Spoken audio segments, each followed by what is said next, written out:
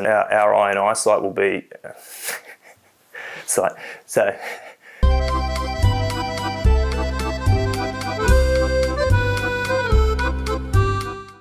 My name is Michael King. Uh, I manage one of two teams in our intelligence and investigations department.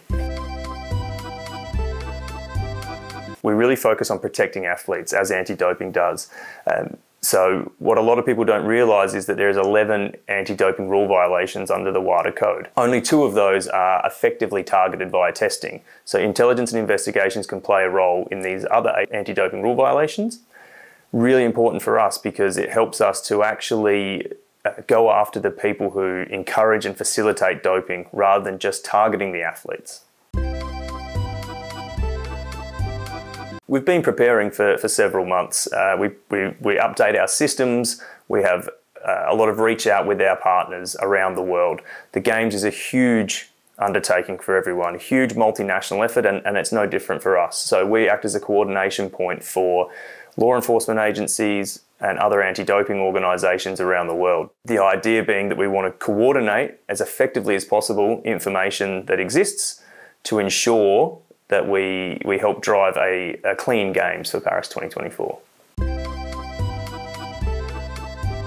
During the Games, our I&I team will be on site in Paris uh, to be a point of coordination for any information that comes in during the Games. And so it's really critical for us that we can receive, assess, and action information immediately that if we need to, to ensure that we can make the games as clean as possible uh, in as quick a time frame as possible.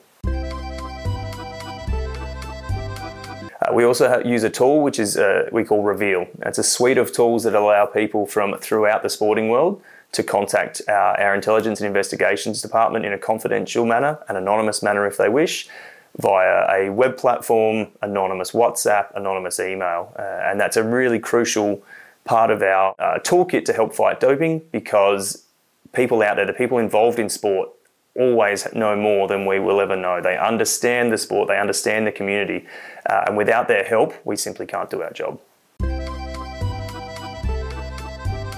We collaborate with law enforcement in, in, many countries, particularly in France in the lead up to, to the Olympics. It's crucial for us, again, that when, when we need, there's actions we need to do that might require law enforcement support. So we have excellent relationships, uh, particularly with French law enforcement.